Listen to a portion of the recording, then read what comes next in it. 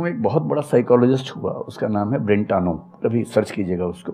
Brentano ने human consciousness को study किया। उसने ये बताया कि ह्यूमन कॉन्शियसनेस की बेसिक नेचर है कि जो हमारे पास है, वो हमें नज़र नहीं आता। जो नहीं है, वो नज़र आता है।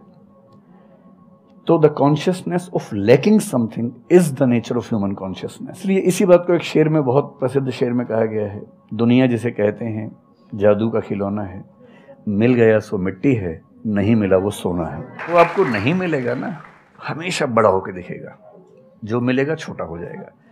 तो ईमानदारी इसमें है कि जब जब डिमोटिवेशन और डिप्रेशन हो, एक कागज़ लेके बैठ जाइए और एक तरफ़ लिखिए, मेरी ज़िंदगी में ऐसा क्या क्या है जो दूसरों के पास नहीं है।